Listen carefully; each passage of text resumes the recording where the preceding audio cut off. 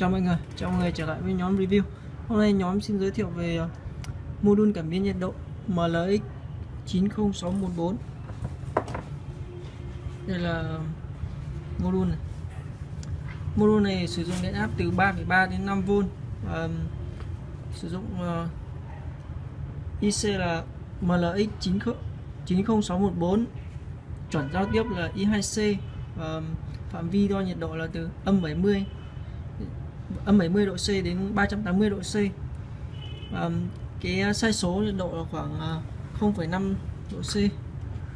Thì uh, module này có được điểm đặc biệt là nó có nó có cái chế độ ngủ để uh, tiết kiệm năng lượng.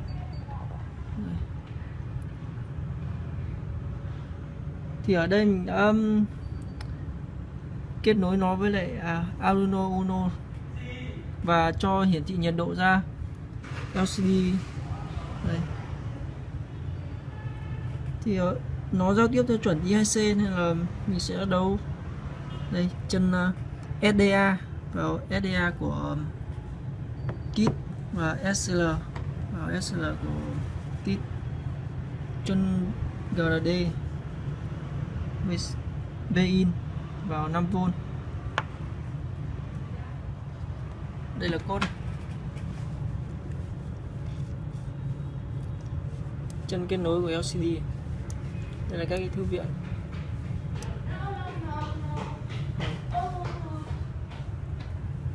Để xem cái um, nhiệt độ đo của module có chuẩn không? Mình đã sử dụng thêm uh, thêm máy đo nhiệt độ độ ẩm TH70C Đây. đầu uh, đo nhiệt độ độ ẩm này.